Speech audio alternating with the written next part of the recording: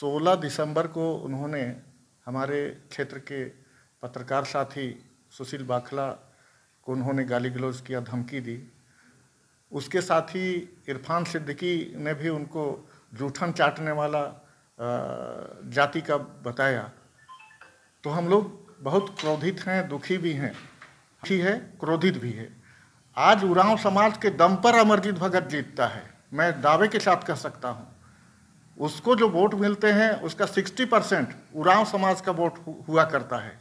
आज पूरा उरांव समाज बहुत दुखी है इस बात से, और वो सावधान हो जाए। हमारे क्षेत्र से निश्चित रूप से इस बार बर्खास्त कर देंगे हम लोग अमरजीत भगत को।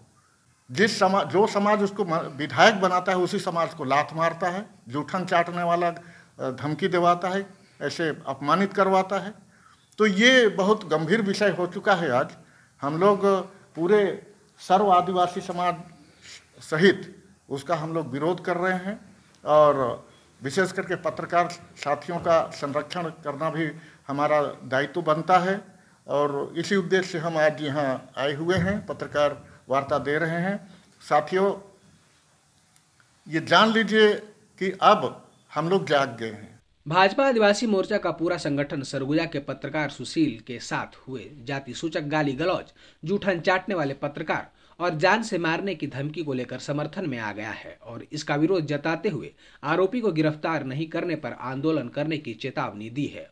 आज जो पत्रकार, आदिवासी पत्रकार सुशील भखला के ऊपर जिस तरीके से इरफान सिद्दीकी के द्वारा गाली गलौज और जूठा चाटने की जो बात कही गई, उसके विरोध में और निंदा में ये प्रेस वार्ता आज की गई।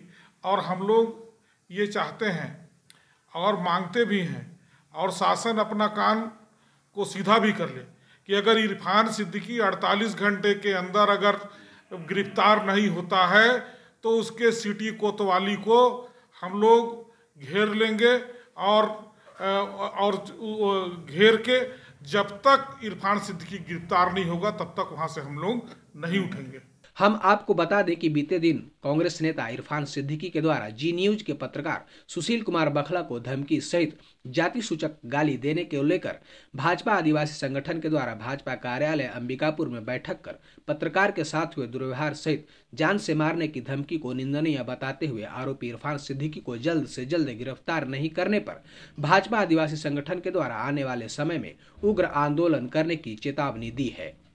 आज जो हम लोग प्रेस वार्ता कर रहे हैं कि 16 दिसंबर को जो सुशील बाखला जी के जो पत्रकार हैं बतौली के और ज़िले के, उनके साथ जो इरफान सिद्दीकी द्वारा गाली गलोच किया गया है, उसके लिए निंदा कर रहे हैं और उसकी गिरफ्तारी हो और सुशील बखला जी के ऊपर जो है उल्टा चोर कोतवाल को डांटे वाला कहानी हुआ है तो उनका केस वापस किया जाए और जूठन चाटने वाला जो विषय आया है, सर, सभी आदिवासी समाज को कहा है, वो भी बहुत ही बड़ा निंदा का विषय है।